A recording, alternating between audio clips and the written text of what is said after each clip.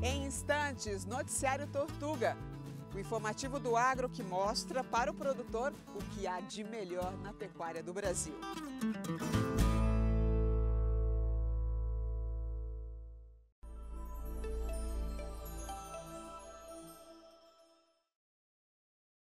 Olá a todos, Noticiário Tortuga de volta. Hoje vamos saber sobre os perigos dos produtos pirateados na pecuária e como o melhoramento genético traciona a adoção de diversas tecnologias pela bovinocultura.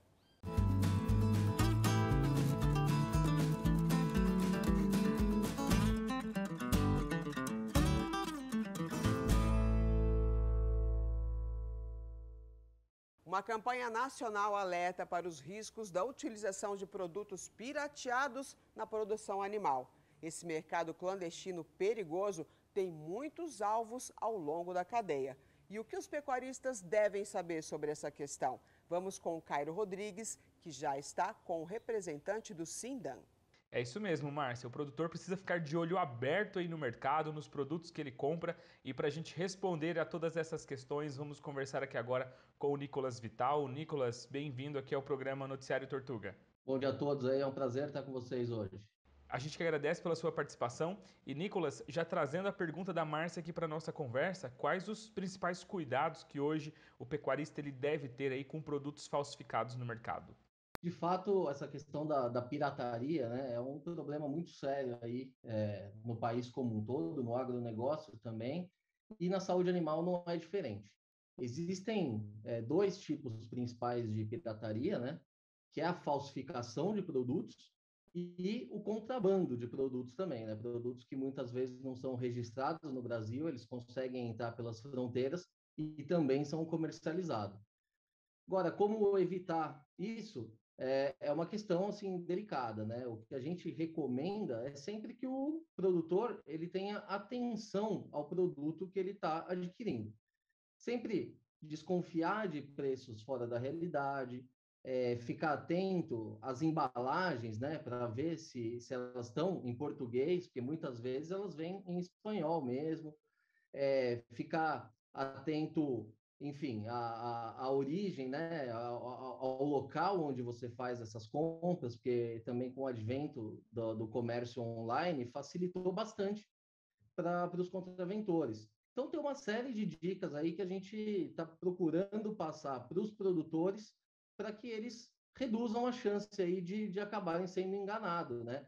Que aí, no fim das contas, é um grande prejuízo que ele pode ter, botar em risco, inclusive, o rebanho, né? E falando aí nesses riscos, quais os problemas que esses produtos falsificados podem causar aí para a saúde dos animais?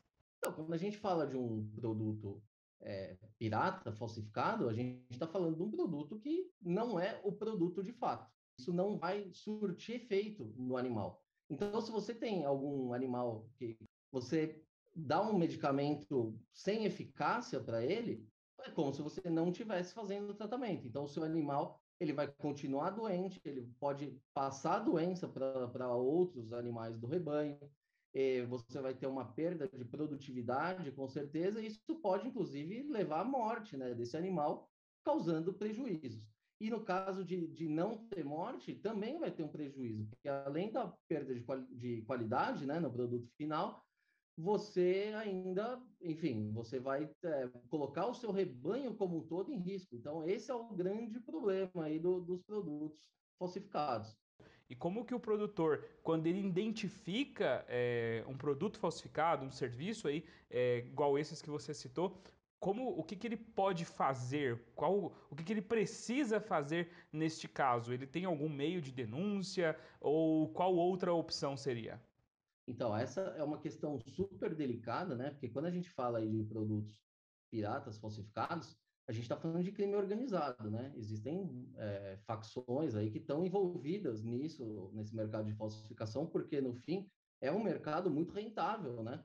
É, então, o que, que o produtor pode fazer? Procurar alguma autoridade, alguém que possa fazer essa fiscalização, que possa fazer a investigação no fim das contas. O que, que o Sindan está é, tá se propondo a fazer nesse momento? A gente criou um canal de denúncias dentro da, da nossa página, onde o produtor que desconfiar de algum produto, ele pode fazer uma denúncia anônima por meio do nosso site.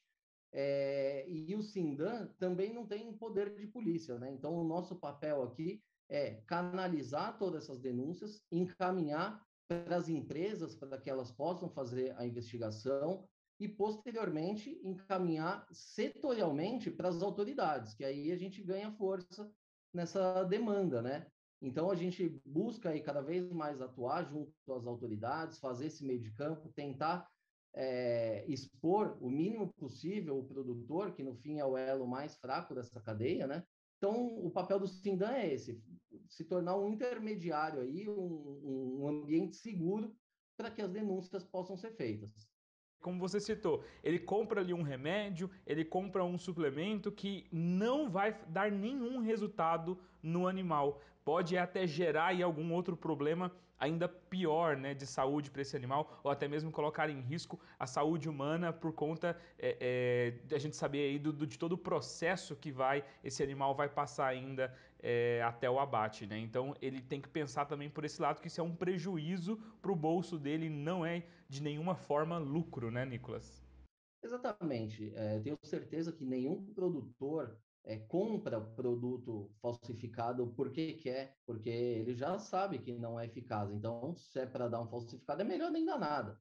Então, uma vez que ele está fazendo essa compra, é sempre importante ter atenção, né? A procedência desse produto, é, é, ficar sempre atento ali é, nas embalagens, ver se o produto é semelhante ao que ele costuma comprar e sempre desconfiar de preço muito abaixo da média, porque não existe milagre, né? E essa questão da saúde, muito mais do que o dano financeiro, você tem um problema sério aí de bem-estar animal, né? Você tem um animal doente, você não está tratando esse animal, ele está ali sofrendo, ele está perdendo produtividade, pode estar, tá, inclusive, é, passando essa doença aí para outros animais. Então, é uma coisa super séria é, e que a gente tem que levar isso aí é, com muita seriedade, né?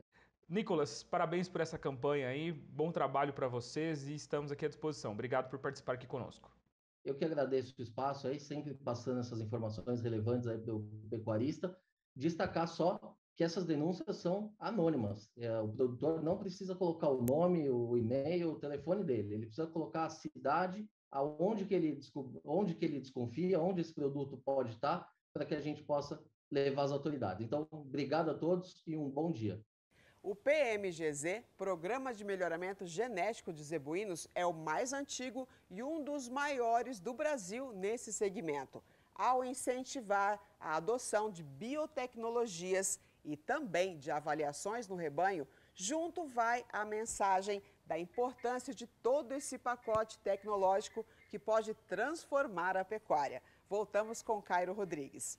É isso mesmo, Márcia. O PMGZ leva genética aí para os produtores de zebu em todo o Brasil, mas não é só de genética que a pecuária vive. Nós vamos falar agora sobre alguns outros pontos aí do PMGZ aqui com o Ricardo Abreu. Bem-vindo, Ricardo, ao programa Noticiário Tortuga. Para nós da BCZ é uma satisfação muito grande está participando aí do noticiário Tortuga.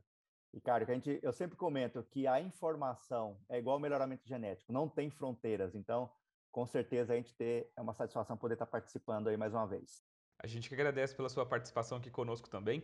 E Ricardo, como a gente já citou aqui anteriormente, o PMGZ leva genética, mas também não é só genética que é importante para o produtor rural. Com isso, vocês criaram alguns eventos aí, por exemplo, o Rota PMGZ. Eu queria que você contasse mais para a gente do objetivo aí dessa rota e como que ela tem disseminado conhecimento aí pelas fazendas, pelas porteiras aí por todo o Brasil. O PMGZ que tem 52 anos de atuação dentro das raças de corte zebuínas PO e o PMGZ comercial, que também nasceu agora em 2018, ela, ele possui um conjunto de ferramentas realmente totalmente é, confiáveis para que o criador conheça o seu rebanho.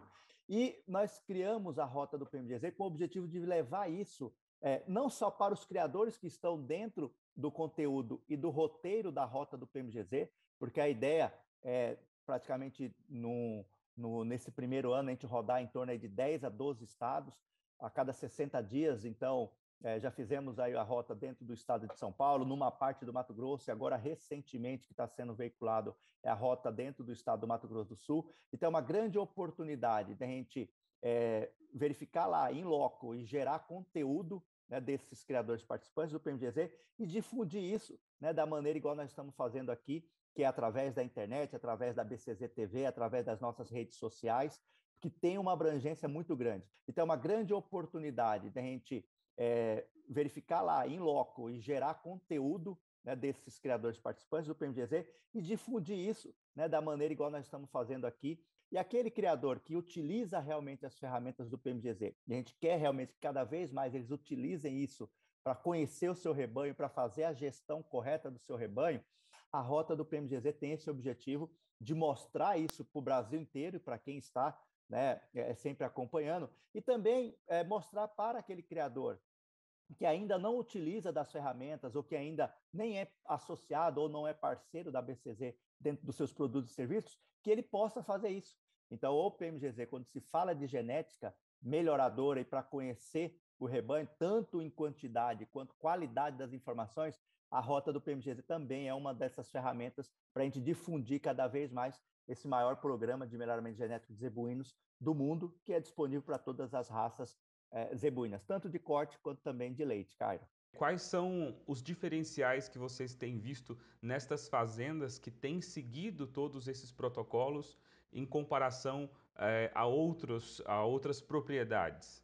Por exemplo, um criador que ainda não utiliza um touro PO com avaliação, ou, ou isto é, um touro PO melhorador na sua vacada, é porque, ou usa um boi de boiada, né, que não tem informação, que não tem lastro, que é um animal piorador, que vai trazer prejuízo com certeza em questões de produtividade, ele ainda utiliza isso porque ele não conhece as suas fêmeas. A partir do momento que a gente disponibilizar as ferramentas básicas de fazer uma estação de monta, de fazer uma suplementação é, mineral adequada dentro das etapas né, de seca, de água, de outono, ter um manejo correto sanitário. Quando a gente disponibilizar esse conjunto de informações em equilíbrio com a genética, nutrição e sanidade dentro do seu sistema de produção, o criador vai conhecer o seu rebanho. Ele conhecendo o seu rebanho, ele não coloca qualquer genética, é o equilíbrio. É, o criador ele tem que ter uma genética boa dos seus animais, aliado a, a, a realmente ao combustível, né? Aquele, a, a pastagem, a suplementação mineral adequada dentro das diferentes categorias, com suporte é, profissional que é importante né, dentro do seu sistema de produção, para que o animal tenha condições de desempenhar realmente todo o seu papel. Né, e quando ele também olha né, para os seus pastos, para o seu manejo é, alimentar, para o seu manejo de pastagens, como uma igual agricultor olha. Então a gente quer que já temos aí uma agricultura de precisão, a gente tem que chegar, estamos já chegando nisso, mas temos que nivelar isso por cima para que todos os criadores na pecuária de corte também tenham a atividade de pecuária de precisão. Com certeza, e é isso que é o objetivo, né? Eu acho que de todo pecuarista, é querer evoluir ainda mais dentro aí da sua produção e isso casa completamente com o que hoje o mercado exige, uma produção cada vez mais sustentável, né?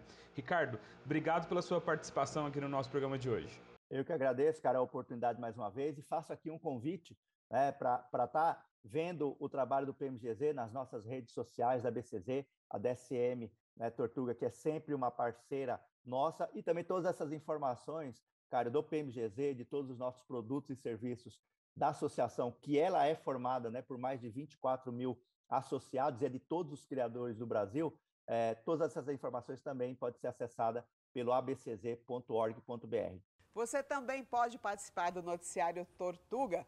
Mande perguntas, mande depoimentos e também sugestões para o telefone da produção, que é o 11 993 821999. Você também pode entrar em contato com a gente nas redes sociais.